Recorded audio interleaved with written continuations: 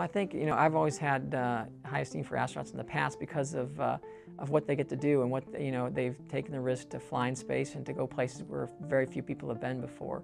But, you know, we don't look at it that way amongst ourselves. You know, we just look at it, it's, it's, a, it's a job, albeit a great job, but uh, it's something that we love to do and, uh, and we're just very lucky we actually get paid to do it. I love my time at UC Berkeley. It was a great school, uh, a really, really neat experience. I, I picked engineering because I was uh, good in science and math in high school and I thought that'd be a, uh, a good field to be in, but I originally actually picked uh, aeronautical engineering, uh, but when I sent my application and got the letter back saying you've been accepted to Cal, it said you've been accepted in mechanical engineering. I'm like, mechanical engineering, what's that? And so I wasn't sure what it was, but I, I called over and they told me it's very similar to aeronautical engineering, and so I, I uh, took some classes and kept going and ended up uh, staying four years and in a major I really hadn't planned on uh, planned on majoring in. At U of H, I was going to school there at, while I was working here as an engineer, so it was a little bit harder because I had to, you know, work during the day and then go to school at night and study at night. So uh, it was tricky, but it was kind of fun. I enjoyed uh, doing my day job and then doing something uh, different at night, uh, studying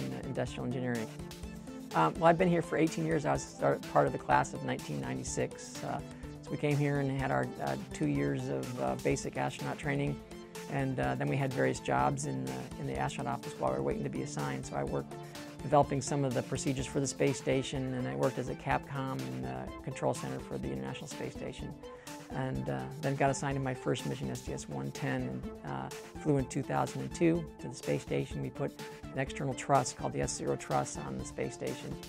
And uh, I got to do two spacewalks as the rookie spacewalker then. And then uh, a few years later, I got assigned to STS-122, uh, which was to add the European Columbus Laboratory Module onto the space station. And my job was to be the lead spacewalker there, so I did three more spacewalks and helped uh, attach and outfit and, uh, and um, get uh, the Columbus module ready for, uh, for use. And then my final flight was in 2011, it was the final space shuttle flight, STS-135 and that was a resupply mission to go to the space station to uh, stock it up before the space shuttle stopped flying. Well, I was always interested in space, and from my young child, I thought it would be great to be an astronaut or fly in space someday, but I really didn't think it was possible necessarily, so it's kind of one of those things you put on the back burner.